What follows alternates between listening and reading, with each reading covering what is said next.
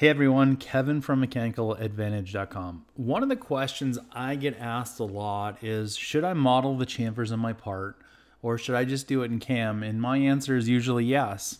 Um, so let me explain that a little bit. So if the chamfer is going to have an aesthetic look, so meaning like how big the chamfer is is going to make a, uh, a difference to the appearance of the part, or if the chamfer is required to be a functional part to make things fit together or the way it mechanically goes together, something like that, then I put the chamfers on the part. If I'm only if my only intention were, were to put the chamfer on the part so I could deburr the part, then I'm not going to model that as a chamfer. I'm going to do that inside of CAM. Uh, and we're going to take a look using this part at two ways that you can chamfer uh, on a part like this. So if you ever wanted to uh, pull up this part and follow along, you could go ahead and go to your data panel go to your list of all your projects and you're going to find something called workshops and events. Inside of workshops, workshops and events is going to be an education folder. And inside of the education folder is going to be a CAM workshops. And the part that I'm working with is called 3D Advantage. Uh, so that's the part that I have open on the screen right now. So if we look at this part, most of the edges on this part uh, have square edges and there's the holes have a chamfer that's placed on them. Now there's a couple different ways we could do the the chamfers and the holes. We could do that at the time of drilling or we could do as a second oper secondary operation. But we're going to look at doing this with uh, using the 2D contour functionality. The rule of thumb is if we hit the 2D drop down, we're going to see two tool paths that we can use to do this these chamfers. One is called the 2D contour and the other one is called the 2D chamfer. And my rule of thumb is if the chamfer has been modeled like it has on these holes, you need to use the 2D contour to be able to create the toolpath. If you try to use the 2D chamfer command, it will fail every time. Now there's a couple little tricks you can do to, to make this work out, but in my opinion, it's not worth the effort. Um, so if the chamfer's been modeled, just use the 2D contour option. If the chamfers haven't been modeled, we can use the 2D chamfer command, which I sort of consider the magic uh, chamfer toolpath, and we'll take a look at why I look at it that way. So let's add some chamfers onto our part. So let's take a look at what happens if I were to grab a 2D chamfer, and uh, I'm going to go grab a tool inside of my library. I grab this tool number five, which is a quarter inch chamfer mill. And as I said, it won't work if I try to apply it to a line like this. So I'll just go ahead and run with the defaults. Let's set this to be I don't know. Uh, we'll just go ahead and hit OK. It won't matter anyway. And what you'll see is you won't get a toolpath, and Fusion will say generated uh, very quickly, no toolpath. So not very helpful, but just note that uh, 2D chamfer only works on things that don't have the chamfer applied. So how do we do those instead? Well, I'm going to do a 2D contour, and I'm going to go pick up that same tool, that same tool number five, the quarter inch chamfer mill. And now I'm going to go grab the edges that I want to chamfer on the part. So go grab the edges that I want to have. There we go. Now heights uh, for me aren't critical for chamfers because the tip of the chamfer tool is being driven by the geometry that I select. So I don't worry about setting top heights and bottom heights when I'm doing chamfering. Let's go over to the passes tab. on the passes tab, and I should drag this out so you can see the labels better. So now we can see the labels for everything. You notice that Fusion has since that we're using a chamfer tool has given us chamfer options. So even if the chamfer wasn't modeled, you could still use 2D contour, although most of the time in that case, I think we're better off with, uh, with the 2D chamfer uh, option instead of 2D contour. So if we look, we have an ability to, to specify the chamfer width, but because our chamfer is already on there, we're going to set the chamfer width to be zero. We're going to let the software figure that out. And as you probably know, we don't like to cut with the very tip of a chamfer tool. We like to offset that tool a bit. So I'm just going to do a 0.08, 80 thousandths inch chamfer tip offset. It's going to push that uh, tip down, and Fusion's going to do the trigonometry to keep the edge of the tool engaged in the machine the chamfer that I want. And I'll go ahead and choose OK and then we'll see that we get our little chamfer tool path um, that we wanted to do. So there's how we could use the 2D con, uh, yeah, the 2D contour to create the chamfers on this part. We can also use the 2D chamfer command. So let me go ahead and do that. I'm going to use 2D chamfer, same tool.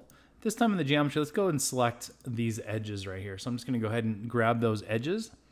And then I want to go to the passes tab. Now here I could add a finishing overlap since this is a closed uh, circle. I should have done this on the 2D contour as well. I'm just going to specify 50 thousandths of an inch finishing overlap, so it leads out 50 thousandths where it let in.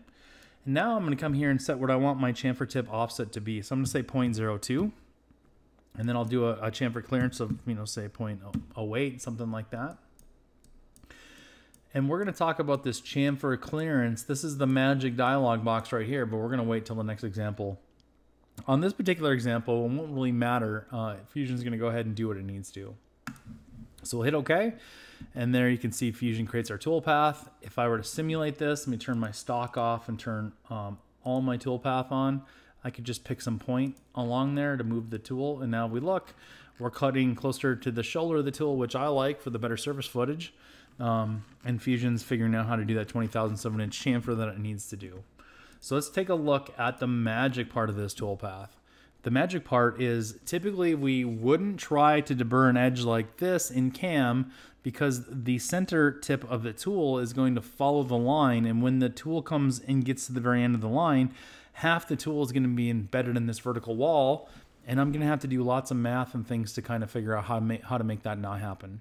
Luckily, the 2D chamfer toolpath will pretty much automate this process for me. So let's go take a look at how I can do that. So I'm going to say 2D in chamfer, and I'm just going to do one of these ledges for right now.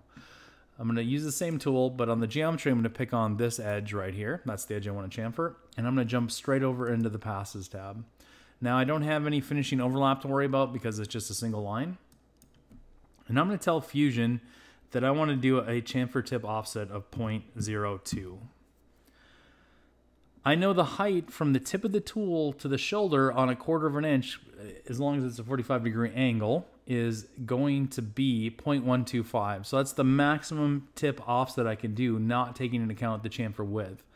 So if I did 0.125 minus 0.02, that would give me a perfect chamfer tip offset amount of 0.105. I'm going to use that for this example I don't want you to use this when you're machining your parts. Oftentimes, the tip of chamfer tools break off, and that's sometimes why, you, why we find flat chamfer tools. The, the tip can't break off.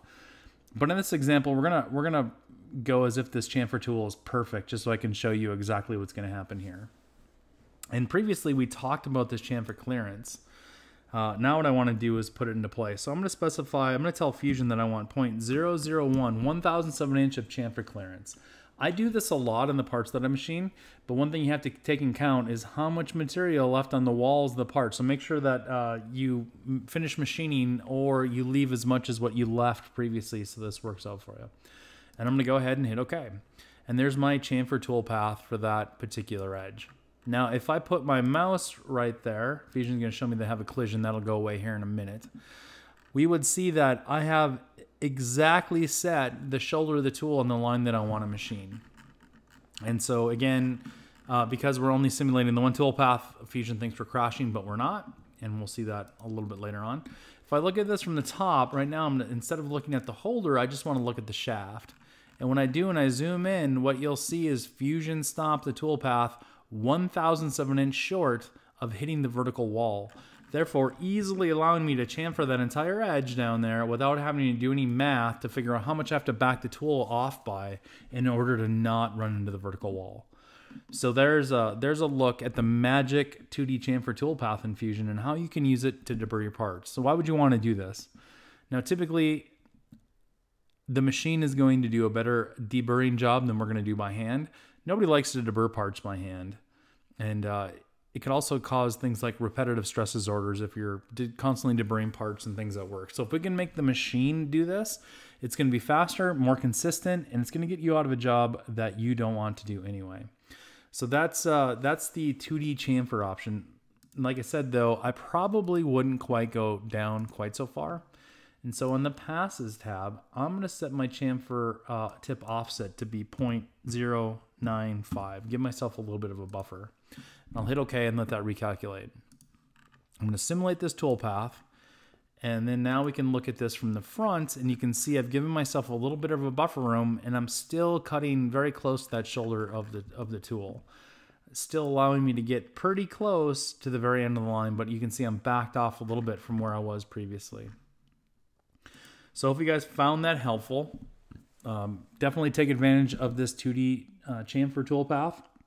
In situations like this, it'll save yourself a lot of time and it'll make your parts look uh, more professional at the same time. So, as always, thanks for watching and hope you enjoyed it.